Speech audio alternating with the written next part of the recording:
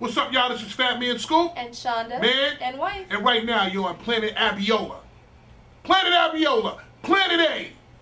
You want to say anything, man? Fat Man Scoop. Planet A. Fat Man Scoop. Planet A. Planet Abiola is the show that I transmit. People, we are broadcasting from parts unknown in the Renaissance bunker, underground, for only one man, the man, the myth, the legend, Kamal the Abstract, aka Q-Tip, which some say Q stands for Queens and Tip stands for Get Off His. All right, I take it old school a little bit. So welcome, welcome, Q-Tip. How are you? How's I'm fine. I'm fine. I'm Good. fine. Now you have been successful in the game for two decades, Mm. um, and this show is a global experience. So there may be people who are new to the Q-Tip experience, and you know don't know about Tribe Called Quest and all of that. Tell her, tell us a little bit about how you got started. Bam! What's up? It's Abiola, and I'm here at Babeland. Babeland, for those of you who don't know, is not just for goddesses like moi, the goddess of love, but it's for anyone who is looking for a fun and frisky time. This is a women's friendly sex shop. And I gotta tell you, I didn't know what to expect coming here. Um, it's like the sharper image of sex toys. So come on, let's go. I felt very Mr. Rogers-ish with that.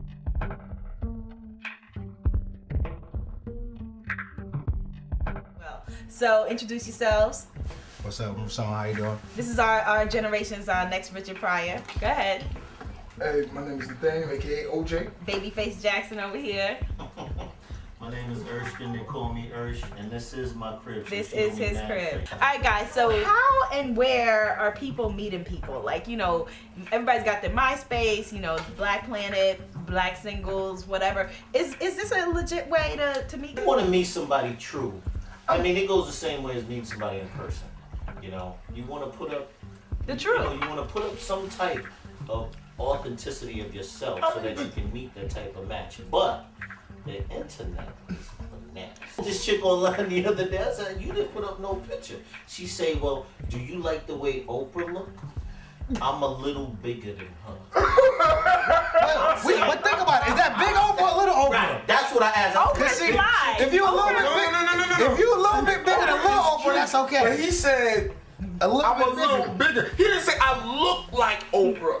She said I'm built like Oprah. Okay, have a good picture. I think that's important for both women and men because I always say if people have one picture, it's a problem because people could get it together for one pitch, picture Right. and look the best that they look, ever look in their life. it. Let me see more than one picture with different. No, some things we What need to you lie about. I don't even know if you was doing pornography like 15 years ago. Just tell me I did some things in the past you might see on TV.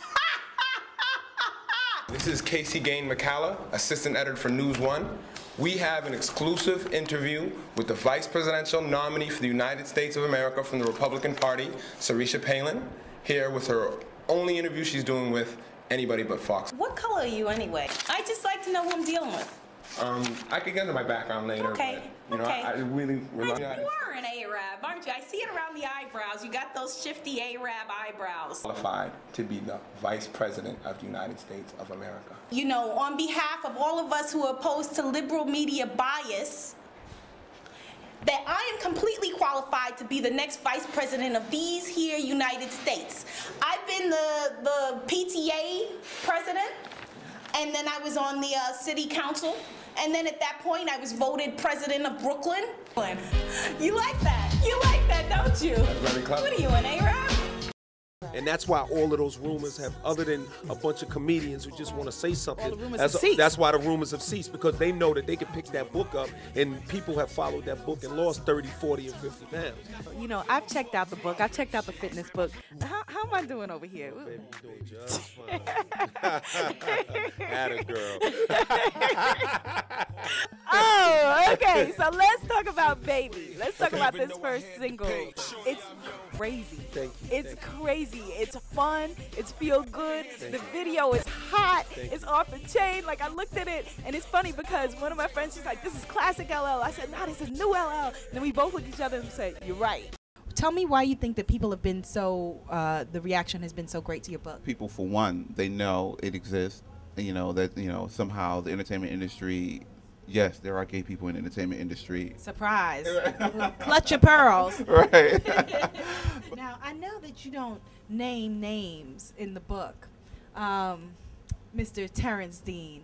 But uh, you know, uh, are there any uh, descriptions that you want to give us of, of people that you are aware of? He is blushing like crazy over here. Um, you don't have to name names. I'm just reminiscing. Ooh, whoa, whoa, okay, all right. he um, was he partook in a, a sexy rendezvous. I'm sure that he has never forgotten. Neither have I. nice. My life is boring. From Hollywood. I gotta come to Hollywood. I mean, people say there's a difference between hip hop and rap. Well, rap is a subcategory of hip hop. Hip hop is a culture. Um, hip hop embodies um, different categories of dance, language, mm-hmm, mm-hmm. writing, mm-hmm. style, clothing wise, um, and music. Like, it's your your style because you're a hip hop gentleman, and now this is your style. Is this now hip hop style? Well, yeah, because hip hop. The thing about hip hop style, which which makes hip hop so great, it infuses what's around the environment and makes it a part of itself. Get them, girls. Check the apron. It says, I'm smart, I'm sexy, and I cook. See, a common misconception people think that I don't cook. I actually do cook, but not as well as this lady right here. So that's why she's going to give me some lessons right now on the Kiss of Honey potatoes. All right, so talk to me, Janice. All right. First and foremost, I've poured gl- both of us a glass of wine just to kind of loosen up the mood and mm-hmm. get us First and comfortable in the foremost, kitchen. cheers. Okay, now what? All right. So I need you to melt the three tablespoons of butter, and you can melt that on like one minute is fine, Okay. or just until it melts. Okay, now if we're making potatoes, how come my duty is melting the butter? Well, what happened is I want you to drink your wine, Well, get what had comfortable. happened was- but and you know I don't really you know. What? I I, don't want can't. you- I I- can't you- make potatoes. Of course you can make potatoes, but I just don't want you cutting them. Why you don't want me cutting them? Because Honey, sweet, sticky, and perfect for drizzling. So addictive, it should come with an age limit. Mm-hmm. Okay, so honey is also an aphrodisiac?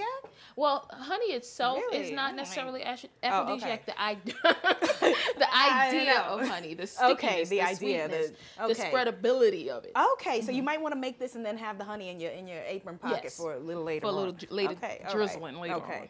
So gorgeous.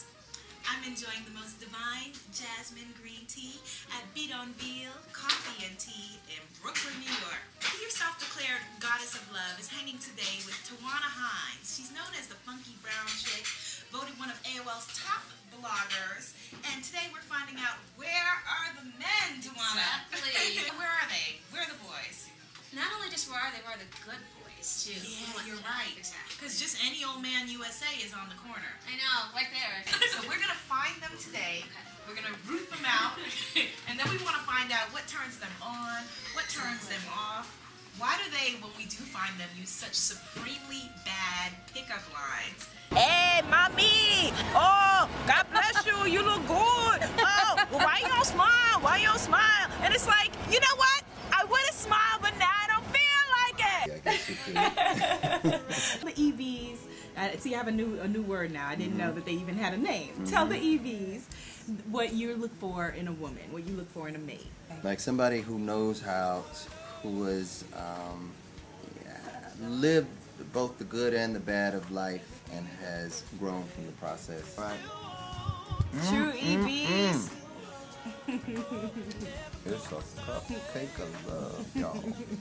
She was found in a pumpkin patch with a strong vision of the future and astrology, I think. Um, and that's what qualifies her, right? I, I was given this title. Yes.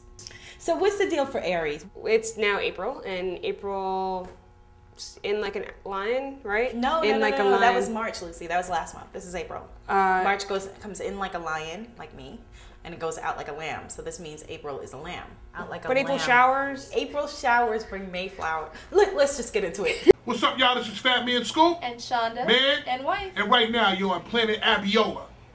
Planet Abiola. Planet A. You want to say anything, man? Fat Man Scoop. Planet A. Fat Man Scoop. Planet A.